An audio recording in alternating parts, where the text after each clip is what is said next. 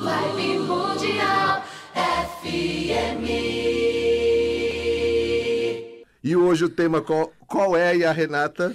Odologia em sua vida. Odologia em sua vida. Isso. muitas pessoas questionam o que é odologia, né? As pessoas me perguntam nas redes sociais se eu acredito em numerologia. Fala assim: ah, pai Marcelo, você acredita em numerologia? Você acredita em cabala africana? Você acredita em, nu- em numerologia africana? É, a data de nascimento é onde o orixá nasce, né? Aí começa a trazer pombagira através dos signos. Daqui a pouco vai ter a pombagira de, de Atena. Vai ter várias coisas aí. Então a gente tem que parar com, esse com essa loucura e começar a centralizar tudo, tá, gente?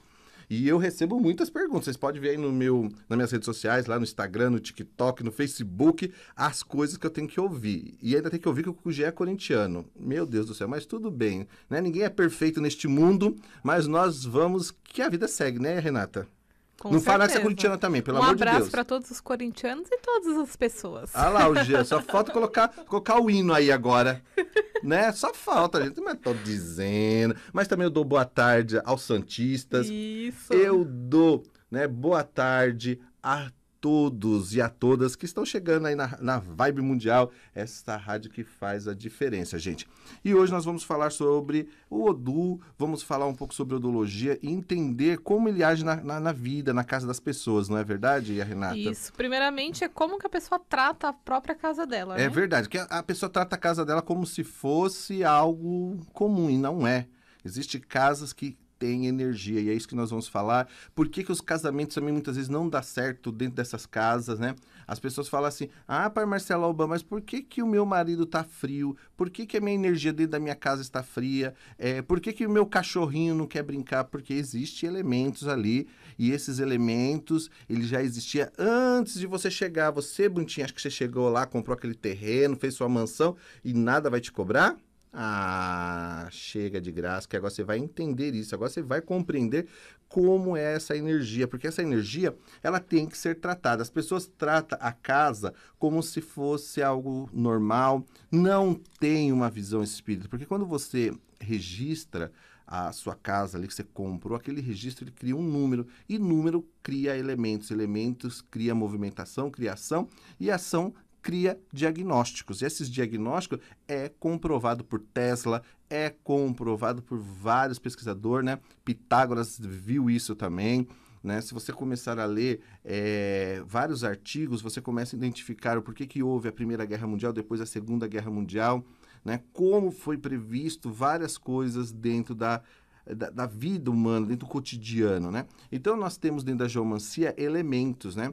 Que nós é, adaptamos para, para as pessoas poderem entender que são chamados de Odu, destino, aquilo que foi, é, foi meu destino, aquilo que as pessoas é, escolheram no céu a viver e chegar aqui na Terra e tem que cumprir. E logia quer dizer estudo, estudar o caso, estudar o que realmente ocorre em cada situação, em cada cenário da vida, em cada aspecto, né?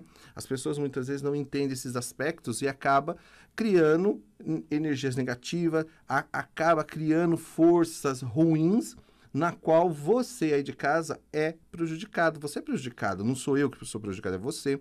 Então nós temos que saber como lidar com isso, como que nós podemos trabalhar essa energia. Você tem aí um casamento difícil? Tem filhos difíceis? Tá com a mãe dentro de casa e tá difícil? Por que tudo isso? Por que que tá acontecendo? Você já se perguntou? Ah, é porque a minha vida é assim mesmo, entendeu? Ah, porque tudo isso acontece porque a minha vida é assim. Não, não é assim, não, é a sua, porque a minha não é não. Para de ser assim, vamos entender juntos. Então vamos lá. Vamos pegar um exemplo. Você somou lá a data da sua casa e deu um número 9, né? Esse número 9, ele está relacionado à terra e água, dentro da geomancia, tá, gente? A gente só usa o nome do Odu para identificar, para ficar mais fácil para as pessoas compreender. Mas dentro da geomancia, é, o 9, ele está relacionado à terra e à água. E dentro deste elemento que está falando terra e água, está falando da fecundação, aquilo que fecunda muito rápido, mas é, é uma, uma fecundação que ela é, vamos dizer, agressiva para quem está ali dentro. Por quê? Porque não aceita mudança. A terra não aceita mudança. Ah, né? O elemento terra está muito preso, é muito o meu, né? Meu carro, é, minha casa, meu marido, meu filho, é muito meu. E quando você vê pessoas né, falando muito meu, você pode ter certeza que é terra que está ali dominando. Aí o que, que ocorre? A pessoa tem terra. Aí ela chega em casa, é, tem manias, né? Você pode reparar que tem manias de fazer o quê? Deixar roupas entulhadas no canto da casa. A pessoa é muito acumuladora, né? A pessoa adora acumular coisas que não tem utilização nenhuma, que ninguém vai utilizar. E ela acaba sofrendo com isso. Aí, ah, mas pai Marcelo, e agora? O que, que eu faço para tirar essa energia? Aí você tem que alimentar mais o elemento água. Você tem que dar mais força ao elemento para que ele amoleça é, essa terra, para que ele amoleça essa energia e ele comece a é, desacumular, desapegar. Né? A pessoa muitas vezes ela, ela, ela coloca água do lado da cabeceira da cama e ela já tem o elemento né, ali que é a água, e aquela água não dá bom sono. A pessoa fala, pô, eu não dormi essa noite. Por quê? Porque ela é elemento fogo, ou ela tem ele, é, excesso de água, e aí ela não consegue, mas o seu espírito, a sua energia está é, se mantendo em cima daquele elemento, ou seja, configurando. Então, muitas vezes você não pode dormir com um copo de água. Agora, se você tem terra, que nem que são os acumuladores da vida, aí você tem que sempre dormir com um copo de água. Você quer um, um ritual simples, um ritual muito simples para puxar essa energia de terra, para você poder trabalhar sua força, para você se melhorar? Coloca um copo de água debaixo da cama com sal grosso. Não pode ser sal refinado, porque o sal grosso, ele representa o estado da terra, né? De solidificação que vai ser amolecido. Aquele ritual de amolecer, aquele ritual de fragilizar o sal grosso é para o seu espírito, sua energia também fraquejar, sabe? Ficar com aquela energia mais, é, vamos dizer, flexível. É, é, que você possa trabalhar, que você possa ter motivos para trabalhar. Então, quando você faz isso, gente, você acaba, né? Tirando esse excesso de terra da sua vida. Ah, mas eu tenho muito fogo, né? Eu mudo as coisas de lugar, né? Né, dona Vaneide? A dona Vaneide hum. é assim. Você chega em casa, daqui um dia eu não vou achar minha cama, viu?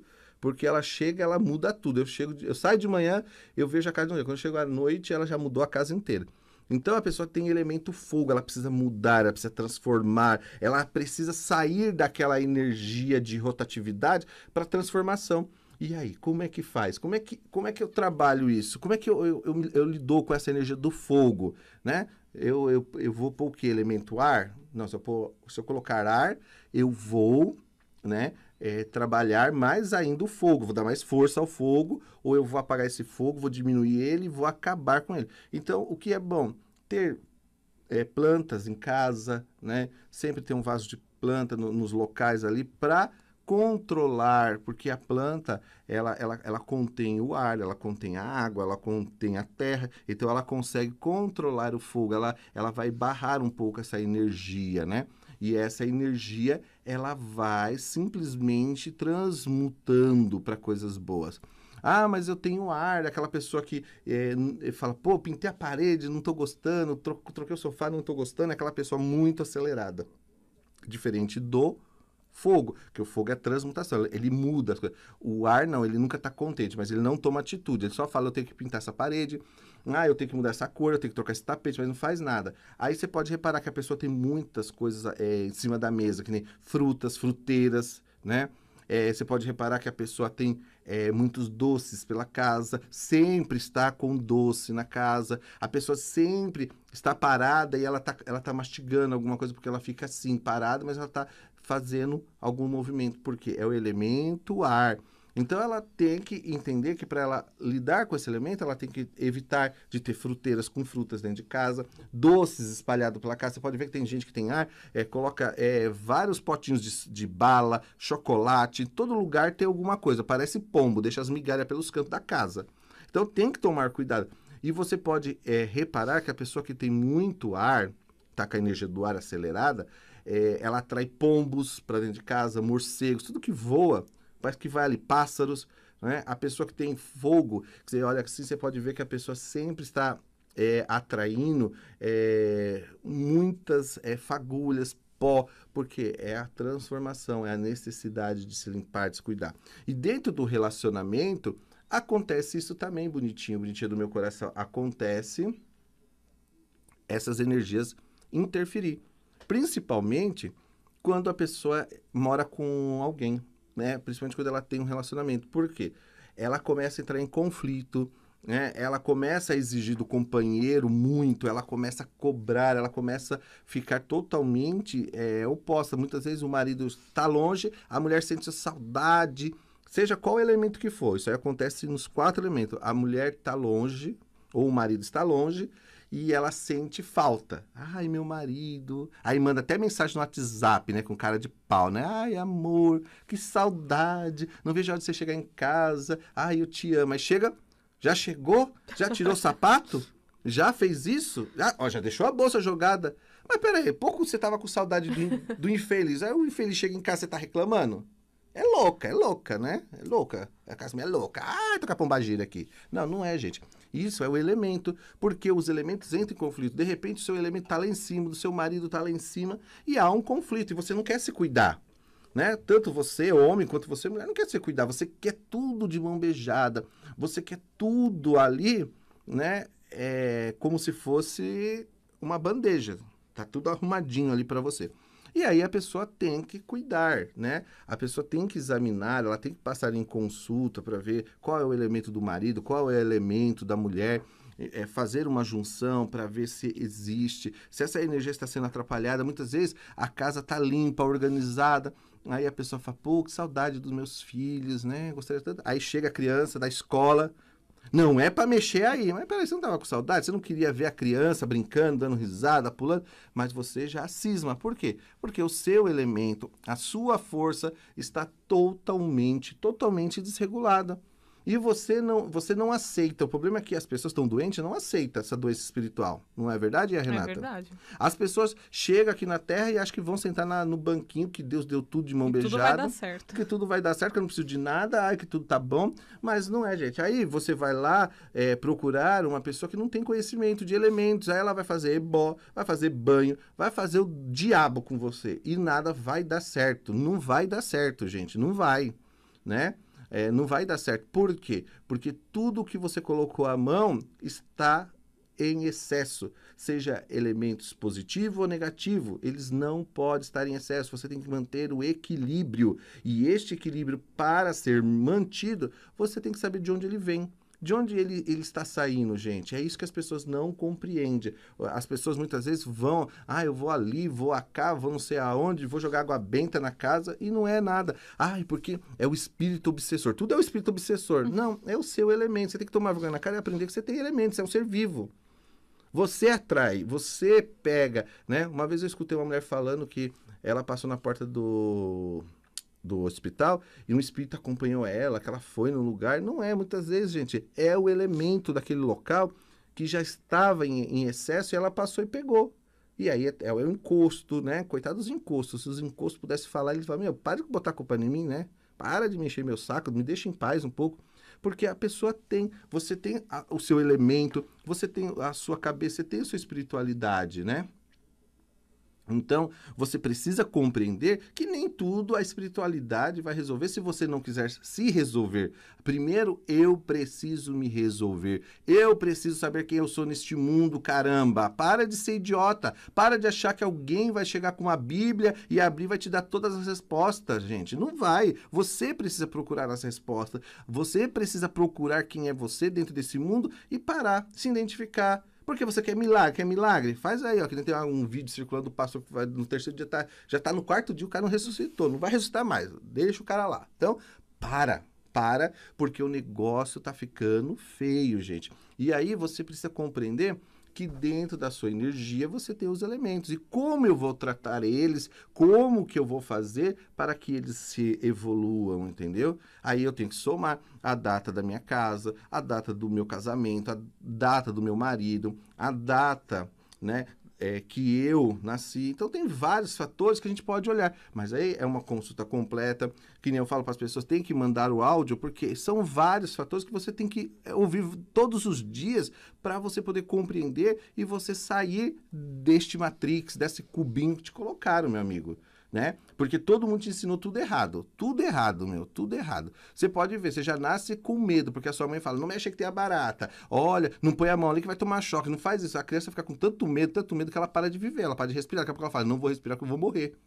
E é assim, porque nós fomos criados isso. A nossa educação não foi para ser caçadores, foi para ser caça. Então nós temos que entender que esse elemento nosso, essa força espiritual que nós temos, ela serve para nos ajudar, para nos alinhar com a criação. Não é verdade, Renata? É verdade. E a pessoa que vai comprar uma casa nova, o ideal seria ela primeiro fazer a audiologia para depois sim, se aventurar? É, fazer a audiologia, saber qual é a energia que está ali, porque muitas vezes a pessoa muda, ai, minha casa, eu quero um jardim. Aquele jardim só ferra a vida da pessoa, porque já está alimentando o elemento dela. Porque você pode ver, quem tem excesso de água, ele gosta de praia. Ai, eu vou tirar uns dias na praia, porque vai me acalmar. Vai nada, aí volta mais maluco do que ele Acalma é. Acalma na hora só. Acalma né? na hora. Depois, quando ele chega ali, já traz. Ai, pessoa que tem ar, né? Ai, eu gosto de passear. Ai, ai vamos fazer um bolo, vamos reunir os amigos, amigos, vamos comer bolo, vamos comer doce. Aí depois que a pessoa vai embora, fica depressiva. A pessoa que tem terra, ela, é, ela chega e fala assim: ah, eu vou comprar uma casa bem grande porque eu quero fazer um negócio aqui. Aí você vê aquele excesso de terra de todos os lados cercando ele e ele quer mudar dentro daquilo. Não tem como. Ou a pessoa compra uma casa enorme e não tem mobília, ele se irrita porque aquela casa é enorme, ele não tem condições de manter aquilo ali, mas na cabeça dele tudo está muito fácil. Então, o certo é a pessoa, primeiro, se investigar, saber quem é ela. Até mesmo uma casa, vamos supor, que acabou de construir, uma casa mesmo nova. tem um existe número. uma energia tem, ali. Tudo tem número. Se você pegar hoje no universo, tudo é, é peso, medida e tudo isso é número. Tudo que você falar, tanto que é, para alguns pesquisadores, eles falam que a gente não enxerga cores, que a gente não enxerga é, a luz, mas nós enxerga, enxergamos as vibrações de cada conflito de elementos. Né? A própria ciência hoje está explicando que muitas doenças estão relacionadas ao excesso. Né? O, o, lá na Mesopotâmia já falava, é, o orixá já fala isso, o chinês já fala isso, só que isso para nós é muito novo, então as pessoas se assustam. Ai, mas elemento, né? Mas você pode, através de medicina africana, você pode cuidar do seu elemento. Tem é, medicinas que você usa para controlar a energia do fogo, da terra, do ar, da água em sua vida, se melhorar você de dentro para fora. É isso que a gente tem que entender, como eu me melhoro daqui para fora, daqui para dentro, aí é um trabalho espiritual, mas daqui, daqui de dentro para fora, como que eu vou fazer? Vibe Mundial. 95 FM